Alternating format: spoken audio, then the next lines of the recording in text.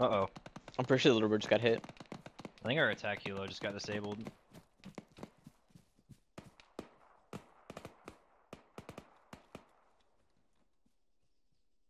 Looks like he's got it. No tail rotor, it looks like. He'll live, but there's no tail rotor. Oh, I think he hit the tree. Ooh. Made it.